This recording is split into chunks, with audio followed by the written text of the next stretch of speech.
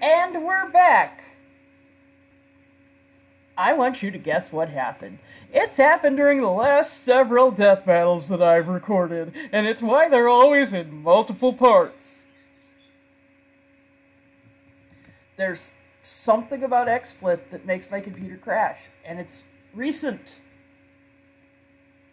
Okay, so let's go through all of this. Okay. We're about this part. This giant building piece in place. What even is that? Likely some sort of antenna, but it also resembles the mooring mast atop the Empire State Building. Back And when I everybody thought say- Zeppelins were the hot new thing. Because who doesn't? This shot. I was gonna say, I'm like 90% sure that that's from Sky Captain in the World of Tomorrow, which is a highly underrated movie. I think everyone just got pissed because Angelina Jolie was used in all the posters and the advertising material, and her character only appears for like five minutes. But Riding a giant flammable balloon full of explosive gas. Sign me up. Assuming it's composed of Actually, steel accidents and were very rare. size compared to the Spider-Man on the roof, then comparing the Empire State Building's mooring mast, this should weigh at most 200 So basically, Miguel's a badass, and he Lifted it in the most Mjolnir. epic way possible. After rebuilding the world with Captain America, Miguel inherited the most legendary weapon of them all, Mjolnir. Although Thor's hammer didn't actually grant him its warrior powers. Miguel didn't use it as a weapon, but Of as proof faith, of his authority. a not. literal symbol of the societal weight he alone could carry. With his dominance Interesting. asserted, Miguel created the utopian future a person could only dream of. And you thought Peter Parker was cool. This Spider-Man is at the top. Miguel O'Hara, Spider-Man of the year 2099. That's me, ready to save the universe and looking good while doing it. oh, so he has an attitude to it. All right, the combatants are Also, set. was Let's that an image of Black Cat in the and for all. background? But first, the future No, is no, but first. in the form No, of but first. Apron. We're going to skip all of this bullshit. Okay, so, um, the issue is Bruce cannot help Terry because that is uh, having uh, backup. It's having assistance.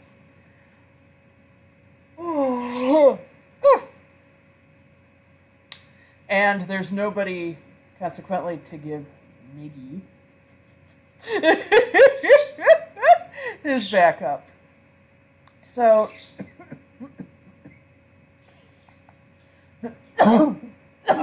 pardon.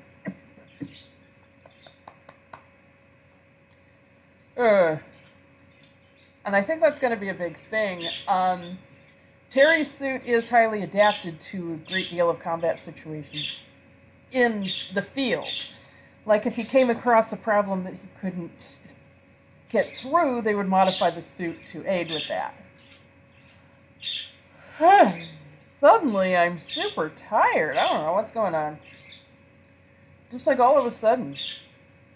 Anyway, um.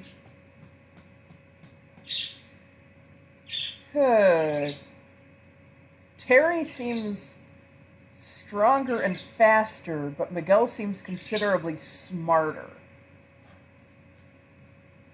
and more uh, able to adapt to the things going on around him.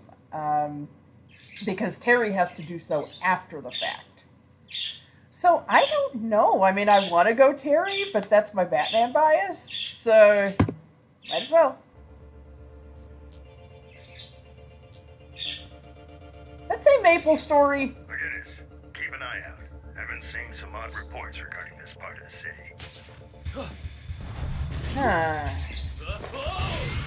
So is he going to be able to help? Hey, Bozo! I was brooding there. Who the shock are you? Terry hardly broods, though.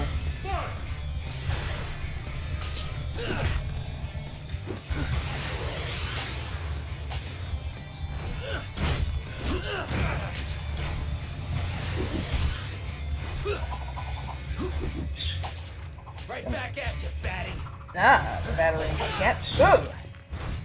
Hey, Lyla, I just can't give me a reading on this vampire Oh. guy, yeah? Okay, they. course, Miguel. They both have I can't Then. identify his tech or fighting style. One of them is a person. But I can try I mean, hacking the suit. The other's the AI, though. Does it really help? He's too comfortable in the air. Try a different approach. Get to ground level. Okay. I can't move. Triple weight bolas. I don't understand that though. Triple weight? Is there a standard weight for them? Oh yeah. Bye bye someone's car. Someone's vintage car, no Someone's trying to less. hack your suit. Our new friend, no doubt. How's the hack going? But we're fast. Close and finish this quick. No problem. Can my fangs pierce his suit? I think so. Then I'll finish this myself. Oh yeah, and the claws. They could. Oh, oh shit. Oh. Yeah. Lyla! Lyla! Ah! Problem solved. I guess that's one way to do it. Ah, I'll never get tired of seeing people blow up. That was a it's really such a blast. battle. Thanks to Bruce's counsel, Terry uses flashbang to take advantage of Miguel's sensitive eyesight, and his electric shock that can short out large machinery to deal with Lyla. Yeah, unlike Bruce, Ah. the poor girl wasn't really built for combat. And while her hacking skills were top notch, the isolated Batcave had the defenses to hold her off. Even still, Early 90s stats computer edged game out animation. Miguel's in more ways than one. When it came to maneuverability and durability, they were mostly even. Both could dodge bullets and weave through the air. Both could survive heavy ballistic hits. But unlike Terry, Miguel's never outraced anything faster than a Mark 19 ballistic missile. Ah. For physical strength, Terry had him beat too. Recall that boulder. Like that I lifted said, underwater? stronger. This took place in Superman's Fortress of Solitude near the Arctic, so the boulder was likely composed of sedimentary dark limestone, the most common rock type around that location. Neat. So we compared Terry's height to the boulder, applied the density for limestone, and subtracted the weight reduced by underwater buoyancy PX? to find the boulder's weight to be 192 tons. Nice. Tossed it aside like it was nothing. Terry's peak strength in the batsuit has to be more than 200 My question tons. Is she alive? fair share She he was under that lieutenant, thing. His best strength feat we know of is at max 100 tons. But he's a Spider-Man. half of it. Spider-Man can lift more than that, right? Not Most usually. Spider-Man. Technically, Miguel's powers are so different from Peter's that we shouldn't really scale him to other Spider-Men. But for the benefit of the doubt, let's do it anyway. We'll check out two of Spider-Man's most impressive strength feats. The first is the time he braced a private jet while it was landing. Look at him. He's literally the landing gear. According to Nice, Spider-Man nice. himself, the plane's total weight was at most 115,000 pounds. Adding the thrust from a Whittle W1 engine, which this small jet is most likely to have an engine comparable to, this feat comes out to 58 tons. Not even close to All Terry's right. 200. Then there was this one time where Spidey had to push way past his limits to Oh, let not me the, uh, offhandedly compared to as a train locomotive. Since he could measure the plane, it's likely he's accurate here. But given the time period, that's still only 130 tons at most. It's clear Terry had a pretty sizable physical advantage. And just because Terry's mind wasn't as fine-tuned as the original Batman's, didn't mean he's dumb. Even more, Miguel never Wasn't trained he an like honor Terry student? Did. Hell, he never really had much formal training at all. But Terry was trained by ninjas, stealth artists, and other crime fighters to be a master in the battlefield. And since Miguel didn't have a I put it to you that Terry that just didn't even reach over until his the shoulder. untrained future Spidey left an opening. In short, while Miguel wasn't Yeah, completely a big opening strength, in his chest. wrestling, equipment, and Of training so. won the bout. Turns out this Batman was beyond him. The winner is Batman Beyond. I love when they end with the groaners. Stick around, we're about to announce the combatants for the next death battle. And if you want to watch It's be, exclusive uh, commentary on this episode, click that little box over there and start a first membership trial. Try to grab one of these shirts too. Oh.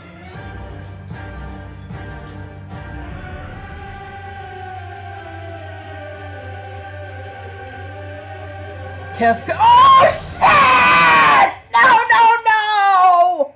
No! No! Vergil! Damn it! No! No, he's supposed to fight Kefka! It's the biggest inter-phantom battle of all! It always comes down. You bring up any Final Fantasy match, and I mean, sure, you get the occasional, you know, Cloud versus Squall, or possibly Cloud versus Lightning, just because they look exactly alike. But no, the biggest battle that people in the Final Fantasy fandom want to see is Kefka versus Sephiroth. That is the battle that it always comes down to. Oh, Vergil! Oh, crap, daddies.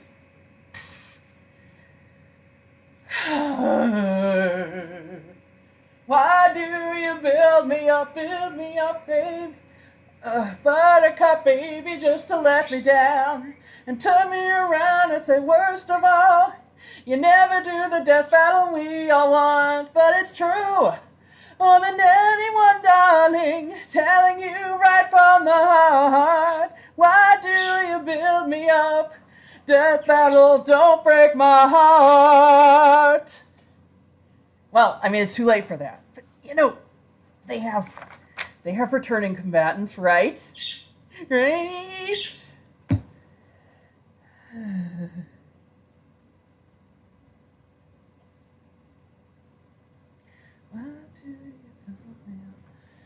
Death battle, baby, just to let me down.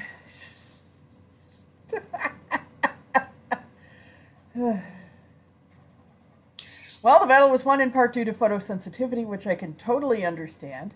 Um, I believe Animal Crossing put it best. It's like uh, bright lights are like lasers shooting into your brain. Yes, that is a, that is something from Animal Crossing, from uh, New Leaf specifically.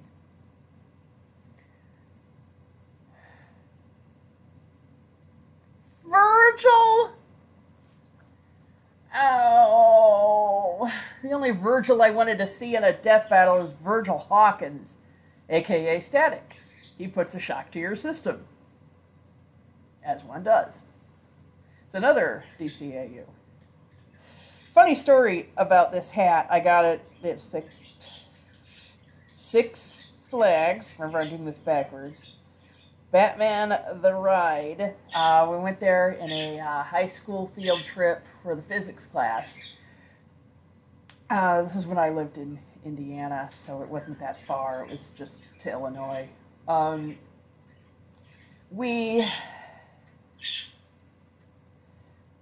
Uh, um, I went all over the place. Um, got in line for the ride, and I kept looking at it because it's a roller coaster. I kept looking at it in the line, and I was like,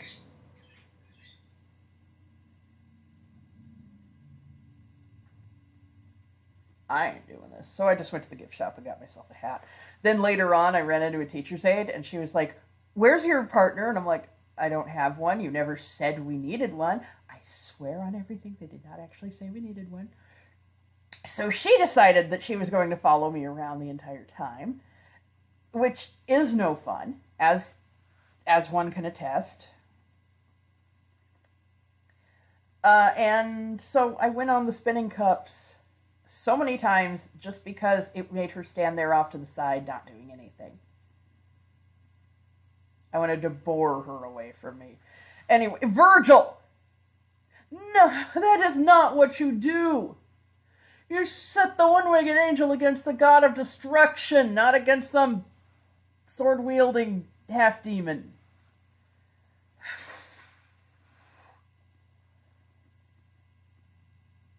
When are we going to hear that glorious 16 bit laughter on this show?